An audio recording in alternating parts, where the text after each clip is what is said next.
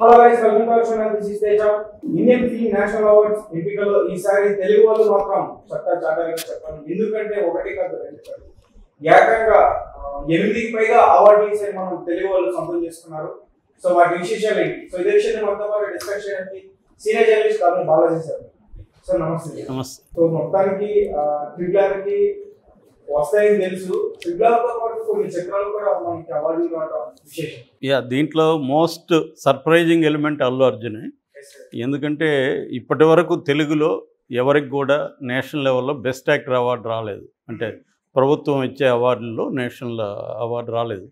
First time తెలుగులో రావడం అనేది నిజంగా కూడా అది సర్ప్రైజ్. సో అసలు మొత్తంగా నేషనల్ అవార్డు రఫ్గా ఎవరి వరకు వచ్చాయని చూస్తే best feature film award Rocketry Madhavan చేశాడు కదా. అవార్డు ఆయనకు ఆ సినిమాకు వచ్చింది. అయితే ప్రజాదరణ మోస్ట్ పాపులర్ ఫిల్మ్ త్రిపులర్కి వచ్చింది.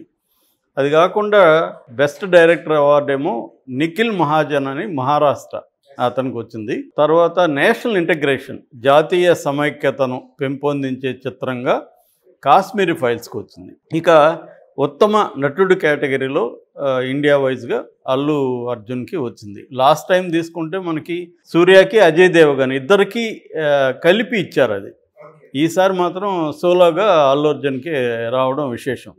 అయితే నటికి వచ్చేసరికి అలియా భట్కి వచ్చింది. ఆమె గంగూబాయి కతేవాడి అనే సినిమాలో చేసింది అది అందరికి తెలుసు. అయితే ఈ అవార్డు మాత్రం ఇద్దరికి పంచుకోవాల్సి వచ్చింది. అలియా భట్ అండ్ కృతి సనన్. ఆమె మిమ్మీ అనే ఒక సినిమా. ఈ ఇద్దరికి కలిపి బెస్ట్ యాక్ట్రెస్ అవార్డు ఇచ్చారు.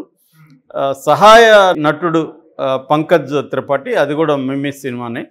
సహాయ నటి పల్లవి జోషి దాంట్లో అవార్డు వచ్చింది. ఇక best screen play Malayali cinema Nayattu అని అది very popular cinema. Dalit subject ఉంటుంది అనమాట adapted best screen play Ganga Gangubai Kathiawadi మళ్ళీ. అదేంటంటే అది బుక్ బేస్ చేసుకొని Mumbai mafia queens of Mumbai అనే ఒక బుక్ బేస్ చేసుకొని వచ్చిన ఇదనమాట ఇక తెలుగులోకి వస్తే ఒక త్రిబులార్కి మొత్తం ఆరు అవార్డ్స్ వచ్చాయి తెలుగులో.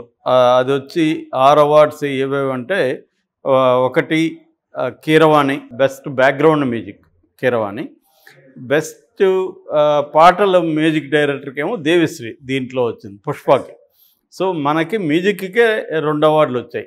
బెస్ట్ పాటలుకి మ్యూజిక్ చేసిన అతనికి బెస్ట్ మ్యూ బ్యాక్గ్రౌండ్ స్కోర్కి. సో త్రిబుల్ ఆర్లో బ్యాక్గ్రౌండ్ స్కోర్కి. అట్లాగే పాట పాడిన దానికి కొమరం భీముడు అనే పాట పాడని కాలభైరవ. సో యాక్చువల్గా తండ్రి కొడుకులకి అవార్డు రావడం అనేది నిజంగా కూడా అది విశేషం. ఇదే దీంట్లో ఫీమేల్ ప్లేబ్యాక్ సింగర్గా శ్రేయా ఘోషల్కి వచ్చింది. ఇరవై నెలలు గల అని ఆ సినిమాకి వచ్చిందన్నమాట. ఇక శ్రీనివాస్ మోహన్ స్పెషల్ ఎఫెక్ట్స్. ఇతను ఎప్పుడు బాహుబలి నుంచి ఆయన రాజమౌళితో ట్రావెల్ అవుతున్నారు. అట్లాగే కొరియోగ్రఫీ నాటు నాటు నాటు కొరియోగ్రఫీ ప్రేమ్ రక్షిత్. తర్వాత కింగ్ సోలోమన్ యాక్షన్ సినిమా యాక్షన్కి వచ్చింది. ఇవి బేసిక్గా వచ్చింది. కాకపోతే ఏంటంటే ఇది ఆరు అవార్డులు అనేది నిజంగా కూడా ఎవరు ఎక్స్పెక్ట్ చేయలేదు. వస్తుంది అనుకున్నారు కానీ ఇన్ని వస్తాయి ఒకే సినిమాకి అనుకోలేదు. బట్ ఇది హ్యాపీనే కానీ రాజమౌళికి బెస్ట్ డైరెక్టర్ వచ్చింటే బాగుండు అనేది చాలామంది అభిప్రాయం అవును సార్. బట్ దాని క్రైటీరియా వాళ్ళ క్రైటీరియా వేరే ఉంది కాబట్టి నిఖిల్ మహాజన్కి ఇచ్చారు. ఇక ఉప్పెన బెస్ట్ రీజనల్ ఫిల్మ్గా తెలుగులో ఉప్పెన సెలెక్ట్ అయింది. అది కూడా ఆశ్చర్యకరమే. అది కూడా మెగా క్యాంపే యాక్చువల్గా. దాని తర్వాత చంద్రబోస్కి కూడా కొండ పొలంలో దమ్ దమ్ దయ సూపాలని అడవిని అడిగేద్దామనే ఒక పాట ఉంటుంది కొండ పొలంలో దానికి బెస్ట్ లిరిక్ అవార్డు వచ్చింది. అగైన్ ఆయనకు ఆల్రెడీ ఆస్కార్ వచ్చింది. దాని తర్వాత నేషనల్ అవార్డు రావడం కూడా ఇదనమాట ఇదన్నమాట. సో మొత్తంగా చూసినప్పుడు తెలుగులో మెగా క్యాంప్కే ఎక్కువ అవార్డులు వచ్చాయి అనే ఒక విమర్శ వినిపిస్తుంది. దీని వెనక మోడీ ఉన్నాడని ఈ మెగా ఫ్యామిలీని ఈసారి మోడీ తనకు అనుకూలంగా యూజ్ చేసుకోవాలనుకుంటున్నాడని ఇటువంటివి ఫేస్బుక్లో ట్విట్టర్లో పోస్టులు పెడుతున్నారు. రెండే కదా సార్ వచ్చాయి? అంటే త్రిబులార్కి అవార్డులు వచ్చాయి ఫ్యామిలీకి. తర్వాత అల్లు అర్జున్కి వచ్చింది ఉప్పెన సినిమాకి వచ్చింది. సో ఇది సౌత్లో ఇన్ని తెలుగుకి ఇన్ని రావడం వెనుక మోడీ ప్లానింగ్ ఉందనేది. ఎందుకంటే ఇప్పుడు ఏంటంటే మోడీ వచ్చిన తర్వాత ఎలా అయిపోయిందంటే ప్రతి ఏ పని చేసినా కూడా మోడీ ఏ పని చేసినా దాని వెనుక రాజకీయాలు ఉంటాయి.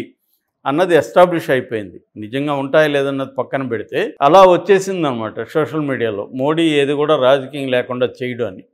కాబట్టి ఇవి కేంద్ర ప్రభుత్వం ఇచ్చే అవార్డే కాబట్టి ఎవరెవరికి ఏ అవార్డులు ఇవ్వాలి అనేది. ఎందుకంటే ఇది ఇరవై ఎనిమిది భాషల్లో రెండు వందల ఎనభై సినిమాల్లో సెలెక్ట్ చేసిన అవార్డ్స్ అనమాట మొత్తం రెండు వందల ఎనభై సినిమాలు ఎంట్రీస్ వచ్చాయి. అందులో సెలెక్ట్ చేసి ఇచ్చారనమాట ఇంకొక పేరు చెప్పడం మర్చిపోయినాను నేను తెలుగులో ముడుంబై పురుషోత్తమాచార్యులు. ఆయన సినీ క్రిటిక్ అవార్డు. నిజానికి ఆయన ఆల్రెడీ పిహెచ్డి చేశారు కేశవదాస్ అనే ఆయన మీద. దాని తర్వాత ఆయన ఏంటంటే తెలుగు చిత్రాల్లో శాస్త్రీయ సంగీతం అనే ఒక అంశం మీద రెండు వేల ఇరవై ఒకటిలో మిస్మి అనే ఒక మంత్లీ మ్యాగజైన్ వస్తుంది. సాహిత్య పత్రిక సాహిత్య కళా పత్రిక అది. అది చాలా స్టాండర్డ్గా ఉండే పత్రిక అనమాట కళాజ్యోతి ప్రింటర్స్ యాజమాన్యం దాన్ని నడుపుతారు. అందులో ఈయన రెగ్యులర్గా రెండేళ్ళను బట్టి ఈ టాపిక్ మీద రాస్తున్నారనమాట సో అసలు ఎవరికీ తెలియదు ఆయన నిజానికి. అంటే ఫిల్మ్ క్రిటిక్ అనగానే మనకు పాపులర్ వాళ్ళే గుర్తొస్తారు కానీ ఇటువంటి ఒక రీసెర్చ్ బేస్డ్ రైటర్ తెలియదు ఆ మిసిం పత్రిక కూడా నాట్ వెరీ పాపులర్ అది కొంతమందికే తెలుసు.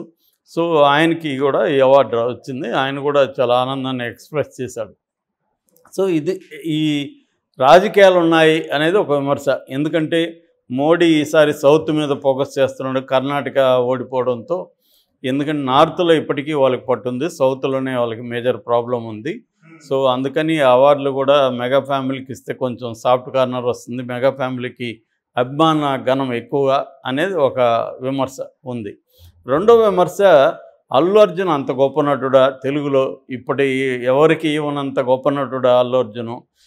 ఫర్ ఎగ్జాంపుల్ త్రిబులార్లోనే జూనియర్ ఎన్టీఆర్ మంచిగా యాక్ట్ చేశాడు. ఈవెన్ రామ్ చరణ్ కూడా మంచి పేరు వచ్చింది. వాళ్ళిద్దరికంటే గొప్పగా చేశాడా అనేది ఒక విమర్శ. సో దీని వెనక కూడా ఏదో ఒక అల్లు అరవింద్ కుట్ర ఉంది.